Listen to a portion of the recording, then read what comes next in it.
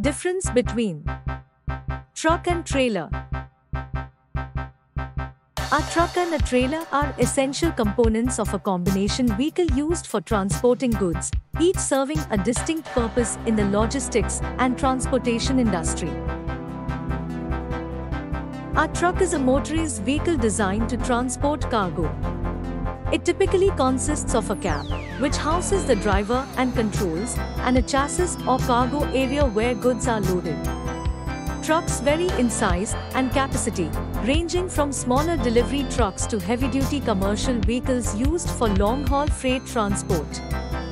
The truck is self-propelled, equipped with an engine to provide power and mobility.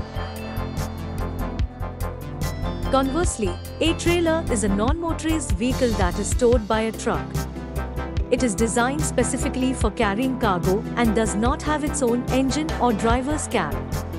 Trailers come in various types, such as flatbeds, refrigerated trailers, and dry van trailers, each tailored to specific cargo transportation needs. In summary, a truck is a motorized vehicle responsible for propulsion and control, while a trailer is a non-motorized unit towed by a truck, designed specifically for cargo transportation.